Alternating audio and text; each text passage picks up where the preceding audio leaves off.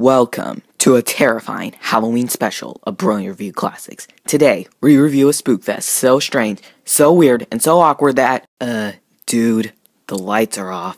Could you turn them on? Sorry. Much better. Okay, where was I? Oh yeah, that your cringy feelings will chill.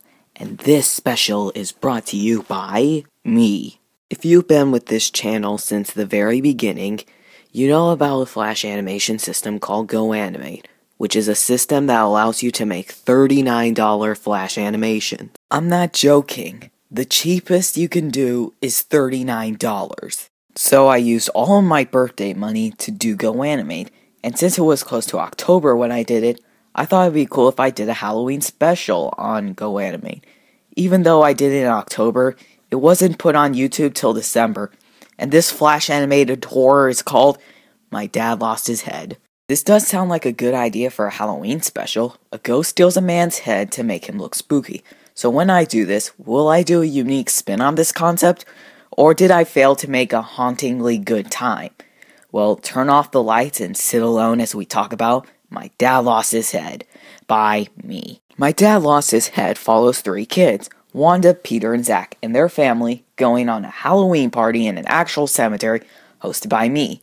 But when their dad goes to dump coke on a selfish ghost property, his head gets taken away, and it's up to the kids to make a potion for her dad, or else their dad is headless forever. And so, how did I do? Super terrible.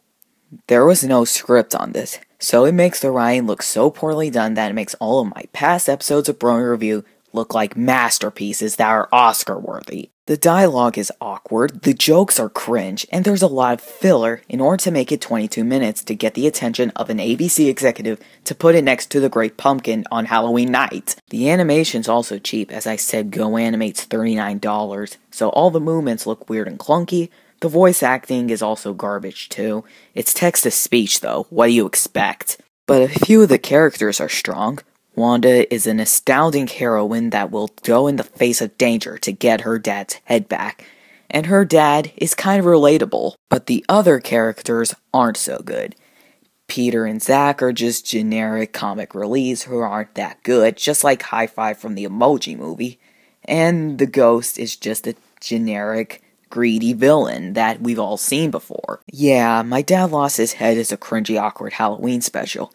Even though Wanda and her dad are relatable, it's not enough to make up for lazy writing, cheap animation, and mostly generic characters. If you want to see this abomination, please stay tuned at the end of the video for a link to that video. So, on the scale 1 to 10, this thing most definitely gets 1 out of 10.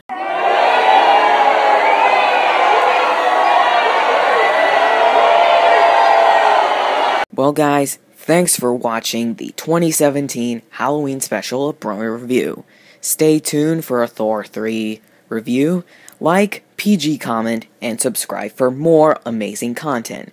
See you later and have a happy Halloween.